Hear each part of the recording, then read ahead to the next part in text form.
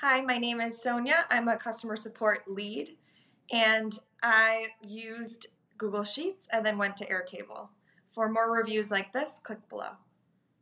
Business problems that I feel like both of these softwares solve are disorganization amongst the team of different projects that we're working on, and then also highlighting important details amongst large projects. Airtable is best for color coordinating information and then also organizing data into groups.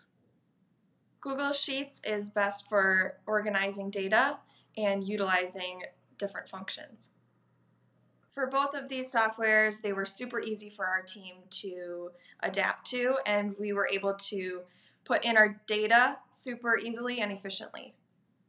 For considering this type of data, two important things for our team is that we can integrate this platform easily with our data and then also making sure it's super user friendly for our team.